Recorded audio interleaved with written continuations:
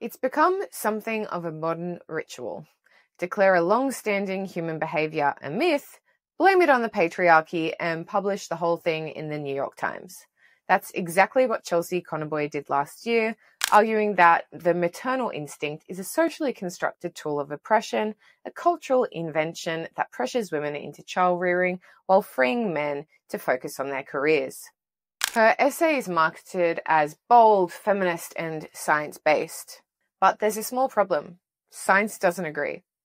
While there's still so much to learn about sex differences, what we do know is far more substantial than ideologues would have us believe. And the more we discover, the clearer it becomes that human sex differences, including maternal behavior, aren't arbitrary social assignments. They're deeply rooted in biology, evolution, and yes, human nature. Let's start with Conaboy's core claim that maternal instinct is a myth.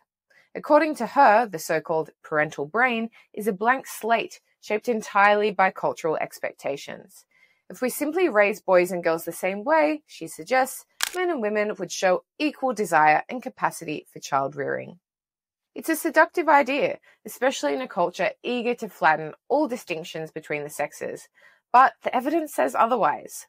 Across nearly all mammalian species, males and females invest in offspring differently. In the vast majority of cases, males do very little parenting. Parenting, in the evolutionary sense, is a form of investment, time, energy, and risk dedicated to the survival of one's genes. And typically, it's the females who make the larger investment. Now, humans are a fascinating outlier here.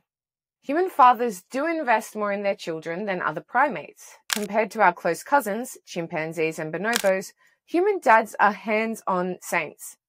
But even in cultures with the most paternal involvement ever recorded, the gap between maternal and paternal care is unmistakable. Consider the Aka people of the Congo, a nomadic group where fathers are famously involved. Anthropologist Barry Hewlett documented their parenting habits. Fathers held their infants for about 57 minutes per day, mothers about 490 minutes. That's more than eight times longer. So why the gap? Well, biology. For one, mothers breastfeed, but more importantly, female primates, humans included, are generally more emotionally and behaviorally attuned to offspring. This attentiveness isn't random, it's consistent, it's widespread, and it begins early. Of course, this doesn't mean every woman is nurturing or every man is distant. There's variation within each sex. Some mothers feel exhausted or detached from parenting. Some fathers are naturally affectionate and hands on. But these individual differences don't erase the average trends, and they certainly don't render them meaningless. Conaboy does acknowledge some of this, but she frames variation as evidence against innate instincts. In reality, variation is expected, even biologically necessary, for complex behaviors like parenting. And variation doesn't mean symmetry. Brain imaging studies reinforce this asymmetry. When mothers view images or videos of their children, they tend to show higher amygdala activation, the brain region associated with emotions.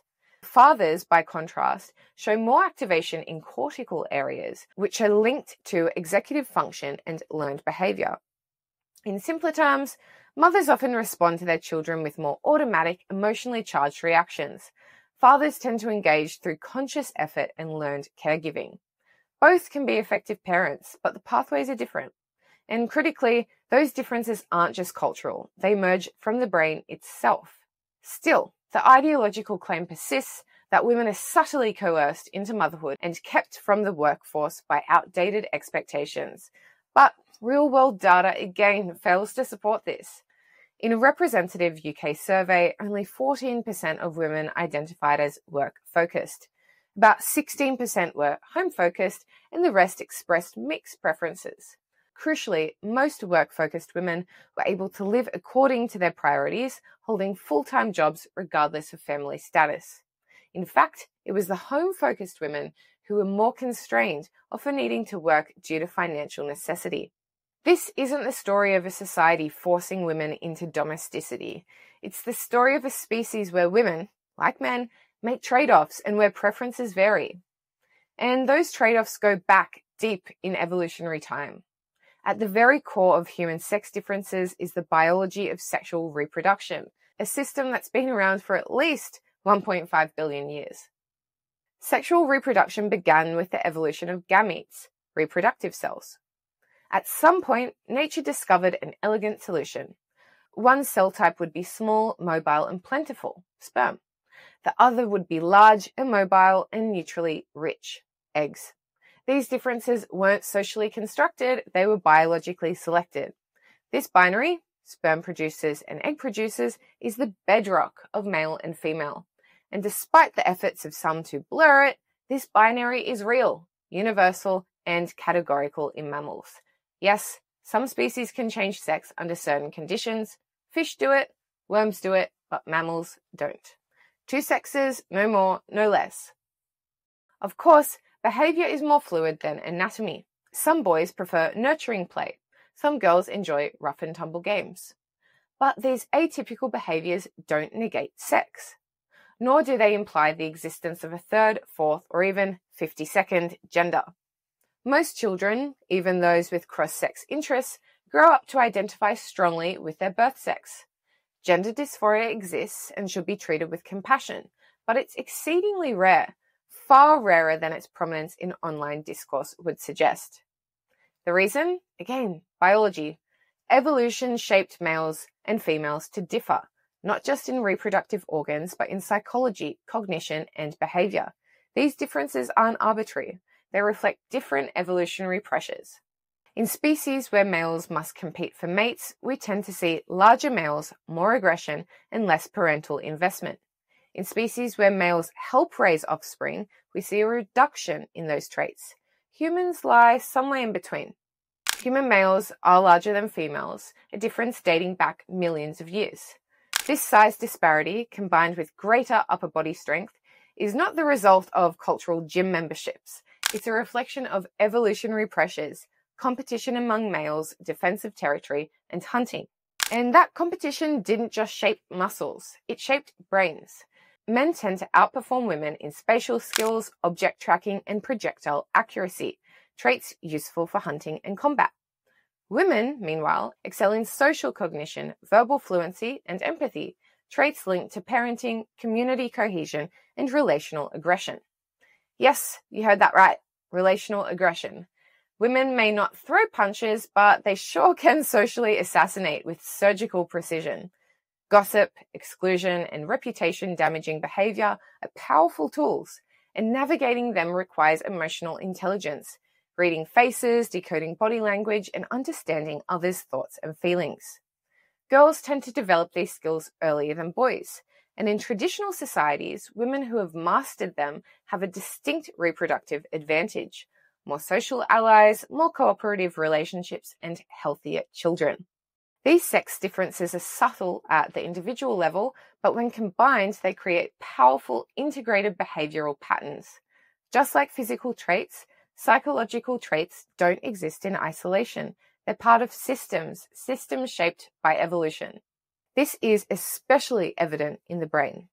Minimalists like to argue that sex differences in traits like self esteem or agreeableness are small, and that's often true when measured individually. But when you analyze entire systems, full personality profiles, or integrated brain networks, the differences become much larger. In one study of nearly 10,000 children, researchers used grey and white matter patterns to classify sex. They were correct 93% of the time. That's not trivial, that's a system.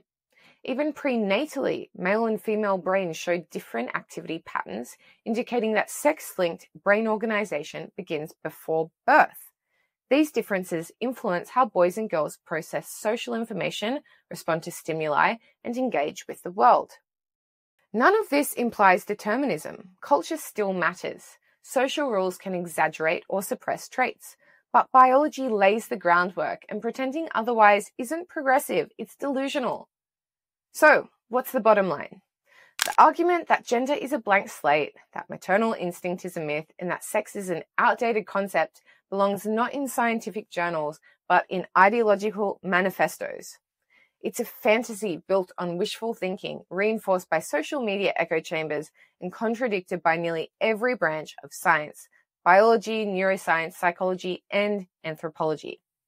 There's still so much to learn about sex differences, but what we already know is clear. Male and female aren't just social roles, they're biological realities. And while gender expression may be flexible, the foundations are not. Human nature isn't infinitely malleable. It's not a product of hashtags or ideology. It's a product of evolution. And no matter how loudly the fantasy is repeated, biology always gets the last word. Thanks for watching or listening to this video. It was based on an essay written by David C. Geary, an evolutionary psychologist and cognitive scientist at the University of Missouri. He's best known for his research on sex differences, intelligence, and the biological underpinnings of learning and development. As always, Quillette provides a platform for evidence based arguments that many mainstream outlets shy away from, especially when it comes to topics where science and ideology collide. If you found this video thought provoking, challenging, or even a little uncomfortable, that's good. It means this video is doing what it's meant to do make you think. So here's what you can do. You can like the video to help it reach more people who are tired of ideological spin and want to hear what the science actually says. You can subscribe to the channel if you want to hear more content like this, deep dives into controversial ideas grounded in facts, and share this video with someone who still thinks that we are blank slate and that maternal instinct was invented by the patriarchy. Thanks for watching. I've been Zoe Booth. Stay tuned for more great videos.